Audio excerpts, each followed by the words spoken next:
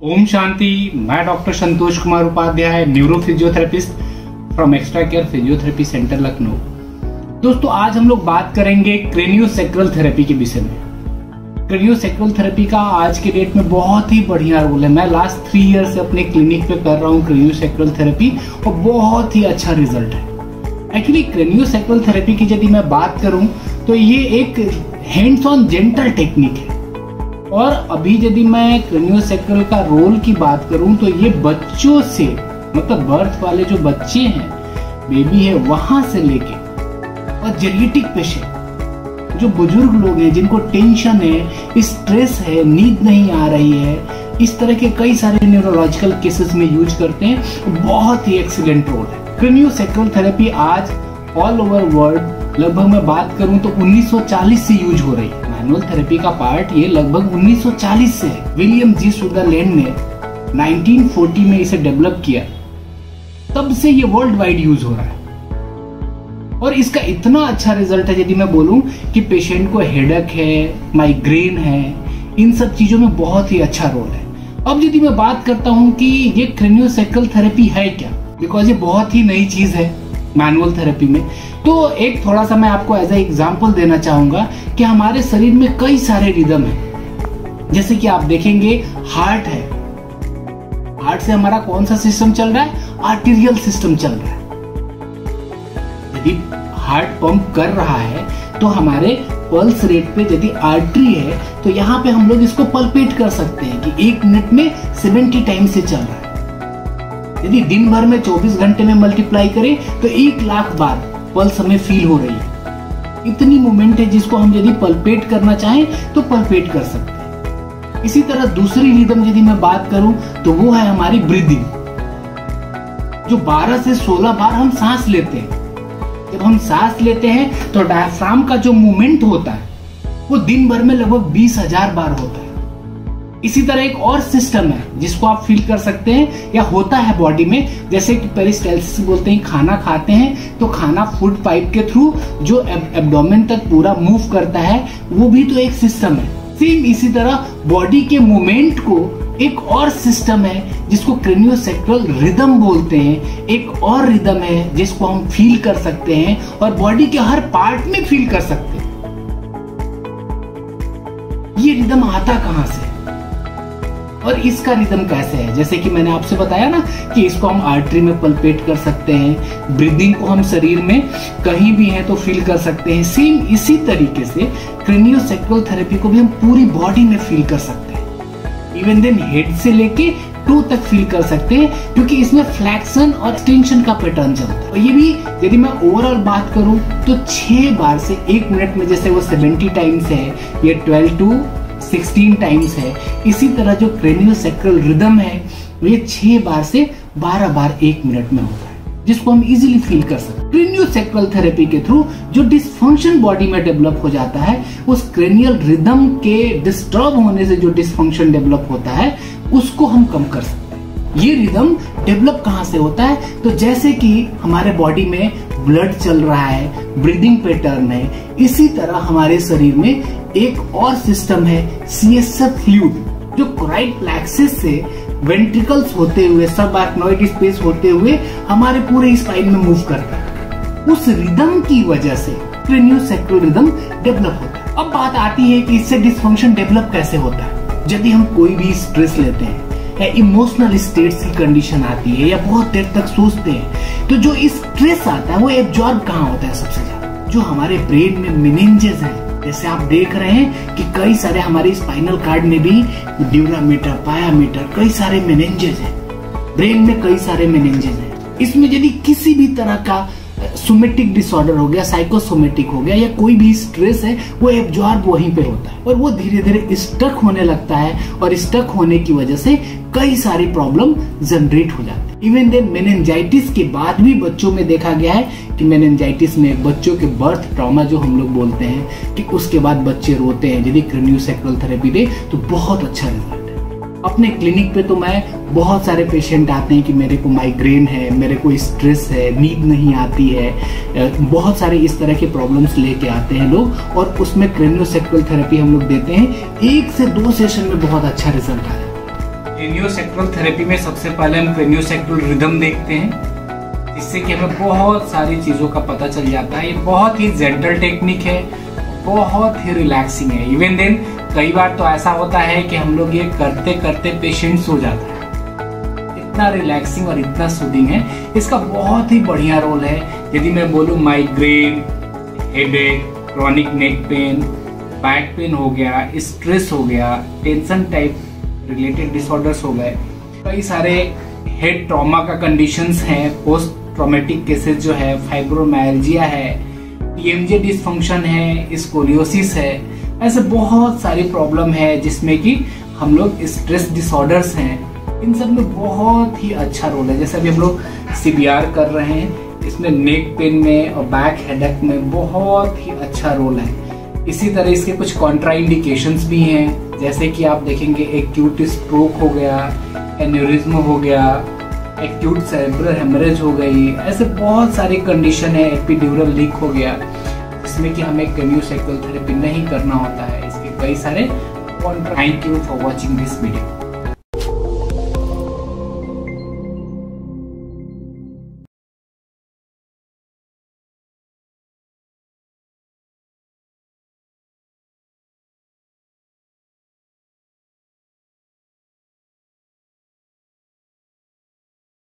Craniosacral therapy for babies.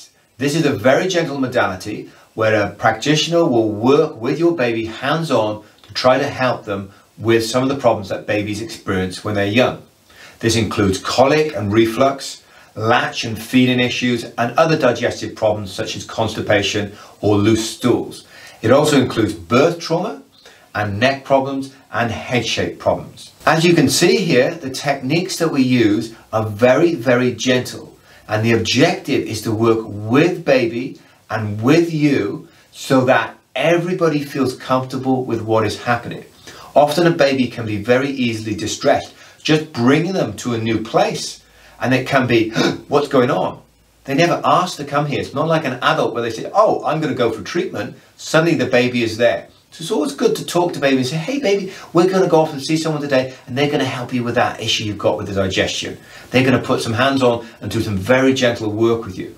This is the aim of cranial sacral therapy, is to really help baby with any difficulty with their digestion, their neck, their head, etc., etc., but also with any nervous system problems they have. Because if we're in pain, if we're in distress, if we've had a difficult birth, then that is going to cause baby to feel distressed and it can get into a bit of a loop where it's a fight flight situation. Craniosacral therapy is very good at cutting that loop, stopping that distress loop where baby gets more and more worked up. The more pain they have, the more they get worked up, the more the nervous system gets worked up, the lower the threshold it is before they get upset the next time. Craniosacral therapy, very good at looking at those areas. If you're interested in knowing how craniosacral therapy can help your baby, then have a look in your local area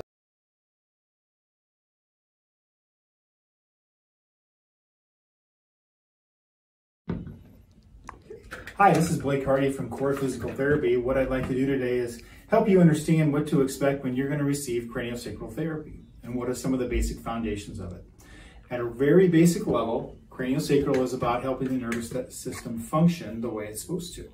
There's a natural expansion and contraction that occurs, and we want to make sure all the tissue around your nervous system facilitates that expansion and contraction.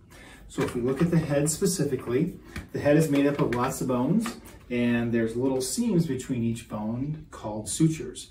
We want those sutures to be able to move just a little bit. It's almost like a Rubik's Cube, for those of you that are old enough to remember that, and we want the little squares on the Rubik's Cube to just wiggle just a little bit, okay?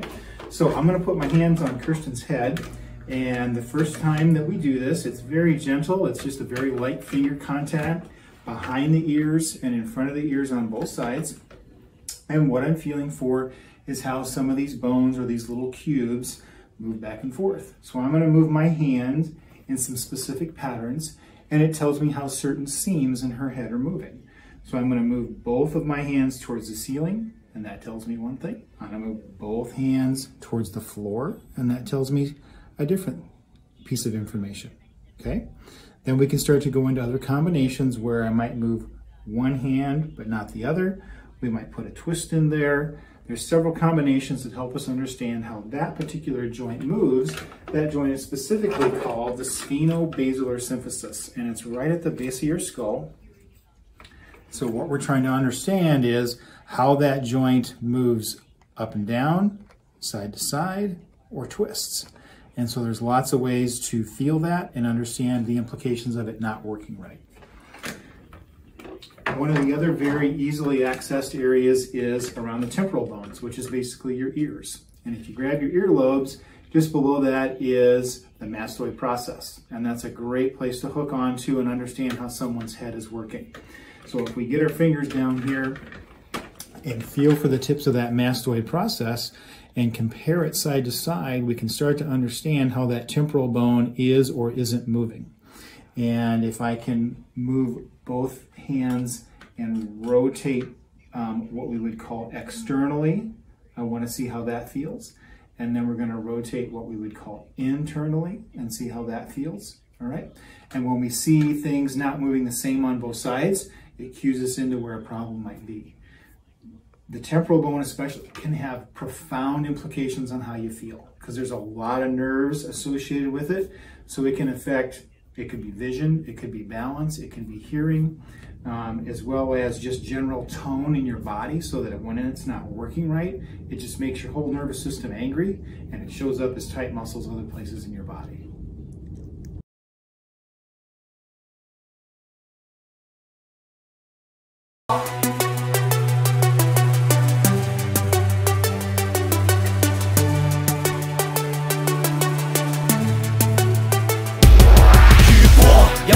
有光辉有色味，有崎岖有喜怒，有悲有乜嘢出奇？上善若水，攀山过岭，乜水都可以系中市。呢个系个今个个开口。如果肢体要活动噶，即系话咁样系开，咁样系合。我离开咗个井，成为水。我可以穿州过省，前面有几困难，有几咁难，行几咁行。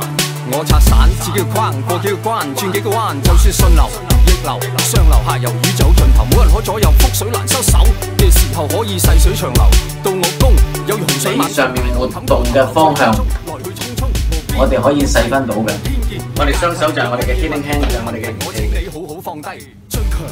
呢啲就係水嘅數，正面進攻水泄不通，我就劍走偏鋒，冇最巔峰，一杯水斟一半，唔會自滿，不停去转，不停去变，不停去鑽研，不停去转变，成为一道清泉，山長水遠，連綿不断，源远流傳，海南不斷。